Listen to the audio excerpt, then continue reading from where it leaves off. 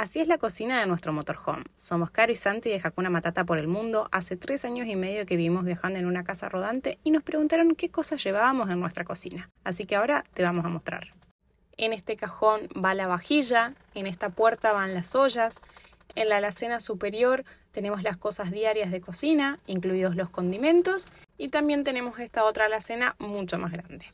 Asimismo, contamos con una heladera de 120 litros que tiene freezer y funciona a 12 voltios. También tenemos un horno eléctrico, pero como funciona a 220, la verdad es que lo usamos poco y como en la mayoría de las casas, lo usamos para guardar cosas. Ahora sí, veamos a detalle cuántas cosas llevamos. Dos jarros térmicos que si te gustan puedes adquirir en nuestra tienda, dos vasos de vidrio, dos bowls, dos platos hondo, dos platos playos, un plato de madera que también usamos de tabla para picar, dos tazas y como buenos argentinos, uno de los cuatro mates que tenemos.